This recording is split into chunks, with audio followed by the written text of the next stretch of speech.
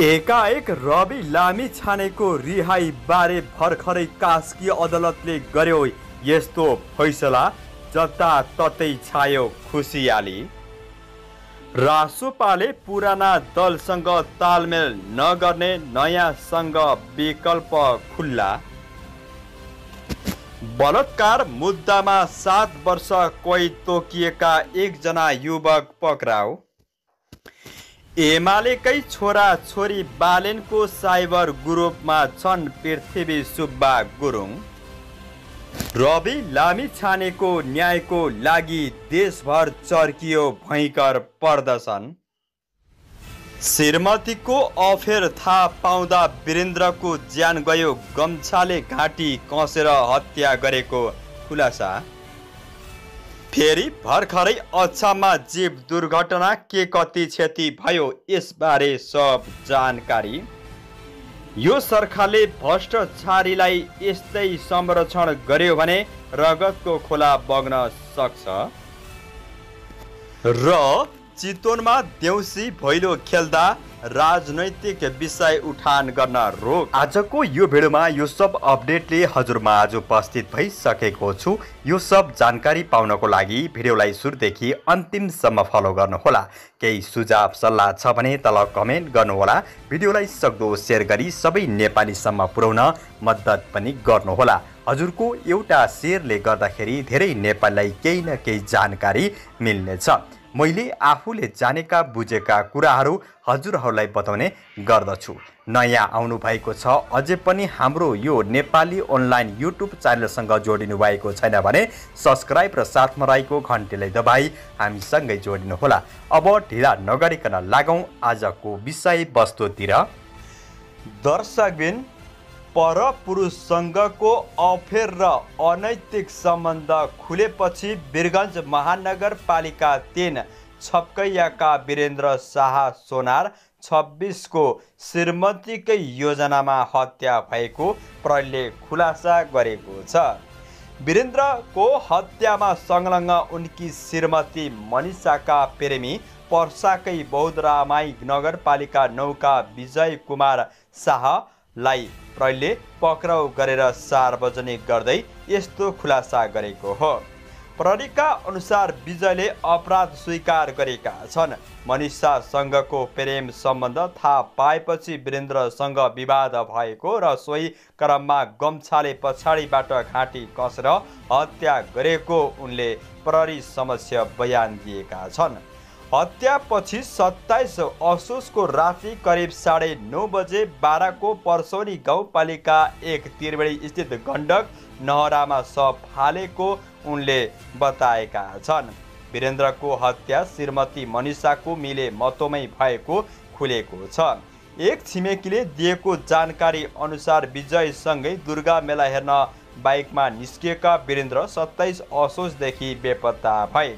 पति बेपत्ता भएको भन्दै अठाइस असोजमा मनिषा खोजतलासको हार गुहार गर्दै प्रहरी कार्यालय पुगेकी थिइन्। यसै क्रममा एक कार्तिकको बिहान करिब साढे नौ बजे त्रिवेणी स्थित गण्डक नहरामा एक पुरुषको शव फेला परेको सूचना प्रहरीमा आयो। प्रहरीले गएर अनुसन्धान गर्दा उक्त शव वीरेन्द्रकै भएको खुल्यो। त्यसपछि प्रहरीले अनुसन्धानको सुरुवाती चरणमै दुई कार्तिक मनिषालाई पक्राउ गरेको थियो।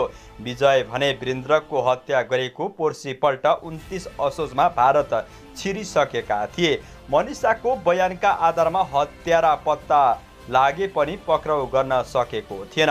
भारतीय प्रहरीको सहयोग लिएर विजयलाई सात कार्तिकमा बाह्रको कलैया उपमहानगरपालिका दस मट्टी अरवा स्थित दस गजाबाट पक्राउ गरिएको बाह्रका एसपी महेन्द्र खड्काले जानकारी दिनुभयो।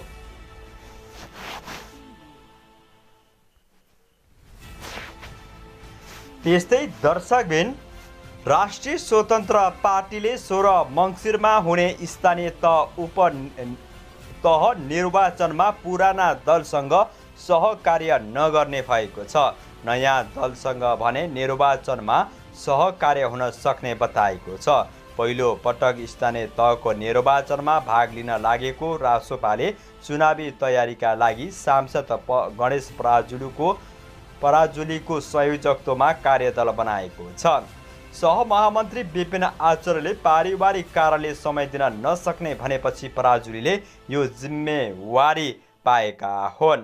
कार्यदलमा सातदेखि नौजनासम्म रहने पराजुलीले बताएका छन् तिस वैशाख दुई हजार उनासीमा भएको चुनावबाट निर्वाचित भई हाल रिक्त रहेका मेयर उपमेयर गाउँपालिकाका अध्यक्ष उपाध्यक्ष र वडा अध्यक्ष पदका लागि उपनिर्वाचन हुन लागेको छ।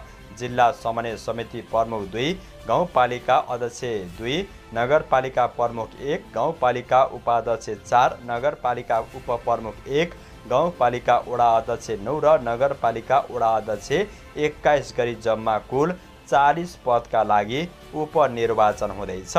उपनिर्वाचनमा नेपाली काङ्ग्रेस नेकपा एमाले माओवादी केन्द्र लगायतका पुराना दलसँग चुनावी तालमेल नगर्ने कार्यदलका संयोजक पराजुलीले जानकारी दिनुभयो केही नयाँ राजनीतिक दलसँग छलफल हुनसक्छ। जनमत पार्टीसँग संवादमा पनि रहेका छौँ। प्रतिपक्ष भएकै कारणले माओवादीसँग चुनावी सहकार्यका लागि संवाद हुने अवस्था छैन उनले भने। रासोपाले उपनिर्वाचनको लागि तिनवटा विकल्प अघि सारेको छ। आफ्नै दलको उम्मेद्वार उठाउने गैरदलीय स्वतन्त्र उम्मेदवारीलाई सघ्याउने र गैरदलीय उम्मेद्वारलाई राजसभाको चुनाव चिन्हमा उठाउने। आफ्नो दलको उम्मेद्वारले जित्न नसक्ने नसके राम्रो स्वतन्त्र उम्मेद्वारले जित्नुपर्ने राजसभाको भनाइ छ। उपसभापति डिपी अर्याल भने हाम्रो आफ्नै उम्मेद्वार उठाउने स्वतन्त्र उठेकाहरूलाई समर्थन जनाउने अथवा घन्टी चुनाव चिन्ह लिएर उठ्न चाहने राम्रा मान्छेलाई सहयोग गर्ने पार्टीको निर्णय भएको छ। राजसपाका नेताहरूका अनुसार आस आसन स्थानीय तहको उपनिर्वाचनलाई आन्दोलनकै निरन्तरको रूपमा पार्टीले लिएको छ। सभापति लामी छानलाई दुई कार्तिकमा प्रहरीले पक्राउ गरेपछि राजनीतिक प्रतिशोध भन्दै रासोपाले विरोध प्रदर्शन गर्दै आइरहेको छ। उपनिर्वाचनको लागि रासोपाका चुनावी कमान्डर पराजुलले भने निर्वाचनलाई हार र जितभन्दा पनि रासोपाको उपस्थिति आन्दोलन सङ्गठन निर्माण प्रक्रियालाई जोडेर हामी निर्वाचनमा केन्द्रित हुन्छौँ। पार्टी महाधिवेशनको प्रक्रियामा रहेकाले चुनावलाई सङ्गठन निर्माणको कामसँग जोडिने रासोपाले जानकारी गराएको छ। प्रमुखका लागि किर्तिपुर नगरपालिका उपप्रमुखका लागि जाजरकोटको नलगाड नगरपालिका वडा अध्यक्षमा मोरङको ग्रामथान र दैलेखको महाबु गाउँपालिकामा चुनाव हुँदैछ। उपाध्यक्ष पदका लागि दोलखाको गौरी शङ्कर हुम्लाको सार्केगाड रुकुम पूर्वको पुथाउ गङ्गा र बाजुराको स्वामी कार्तिक खापरमा उपनिर्वाचन हुनेछ। प्रमुख उपप्रमुख अध्यक्ष र उपाध्यक्षका अतिरिक्त खाली भएका वडा अध्यक्षको पदका लागि पनि चुनाव गर्न लागि छ।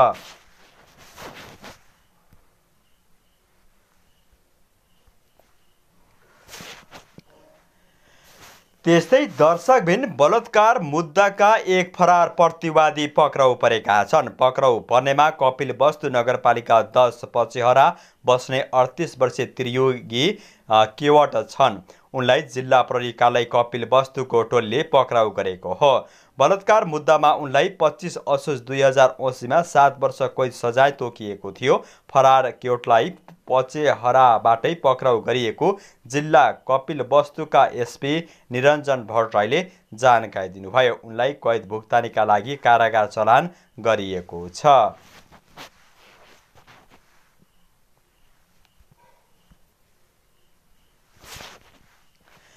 त्यस्तै दर्शकबिन सञ्चार तथा सूचना प्रविधि मन्त्री पृथ्वी सुब्बा गुरुङले एमाले नेता कार्यकर्ताकै छोराछोरीले रवि लामी छानेर बालेन शाहलाई समर्थन गरिरहेको बताएका छन्। बिहिबार एमालेको बागमती प्रदेश सम्पर्क कमिटीले आयोजना गरेको देउसी भैलो कार्यक्रममा एमाले उपमहासचिव समेत रहेका गुरुङले एमालेकै नेताका छोराछोरी रवि लामिछानेको पछि लागिरहेको बताएका हुन्। हाम्रा छोराहरू हाम्रा छोरीहरू रवि लामिछानेको पछि लागिरहेका छन्। हाम्रा छोराछोरी बालनको साइबर ग्रुपमा छन् अनि हाम्रो पार्टीको विरुद्धमा प्रधानमन्त्रीको विरुद्ध विरुद्धमा लेखिएका छन्। त्यसमा हाम्रो ध्यान गएको छ उनले प्रश्न गरे। ओहिलेका विद्यार्थी मध्ये बिसदेखि पच्चिस प्रतिशत मात्र राजनीतिमा रहेको भन्दै मन्त्री गुरुङले उनीहरू नै अनेरा सिबिउ नेभिसङ्घ र अखिल क्रान्तिकारीमा बाँडिएको बताए। सत्तरीदेखि पचहत्तर प्रतिशत विद्यार्थी राजनीतिमा छैनन् उनीहरू रासोपा र बालेन जस्तोको सेना भइरहेका छन् उनले भने एमाले देशभरका छोराछोरी अखिलमा र युवा सङ्घमा होस् भनेपछि उनीहरू कहाँ छन् भन्ने पार्टीका नेता कार्यकर्तालाई थाहै नभएको नेता गुरुङको भनाइ छ। देशैभरि छोराछोरी अखिलमा युवा सङ्घमा होस् भनेको होइन कहाँ छन् उनीहरू पार्टीले बनाएको योजना हामीले कहाँ कार्यान्वयन गरेका छौँ उनले प्रश्न गरे। नयाँ पुस्ता हामीसँग छैन अहिले। उनीहरूलाई विद्यार्थी युवा अरू कुन कुन जनसङ्गठन छन् त्यसमा आबद्ध गर्नु पर्यो उनले भने।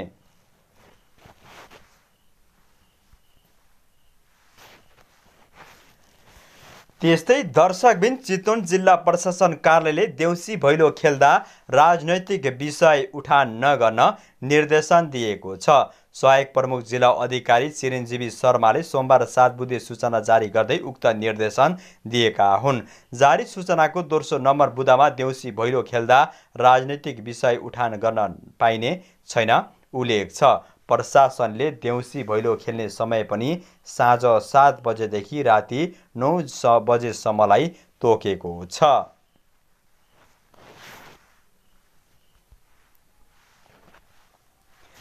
त्यस्तै दर्शकबिन अछामको रेडीकोटमा जीव दुर्घटना हुँदा चारजना घाइते भएका छन्। लु एक ज सडतालिस एघार नम्बरको जीव ब्रेक फेल हुँदा बाजुराका चारजना घाइते भएका हुन्। पाटबाट बाजुरा जाँदै गरेको जीव रेडीकोट स्थित मध्य पहाडी लोकमार्गको नालीमा पल्टिँदा बाजुराको त्रिवेणी नगरपालिका छ बस्ने उन्नाइस वर्षीय नन्दा बुढा बुढीगङ्गा नगरपालिका चार बस्ने सत्ताइस वर्षीय राजेन्द्र लुहार र उनका छोरा छ वर्षीय सक्षम लुहार तथा बाजुराकै खप्तर छेडेदह गाउँपालिका तिनका गाडी चालक तेइस वर्षीय रोहित राउत घाइते भएका जिल्ला प्रहरी कार्यालय अछामका प्रमुख प्रहरी नायक उपरीक्षक ईश्वरी प्रसाद भण्डारीले जानकारी दिनुभयो। घाइते मध्ये नन्दा बुढाको टाउको र मुखमा गम्भीर चोट लागेको छ भने अन्य सबैको अवस्था सामान्य रहेको छ। घाइतेको अछाम स्थित न्याय हेल्थ पाटमा उपचार भइरहेको छ। गाडी चालक प्रहरीको नियन्त्रणमा रहेको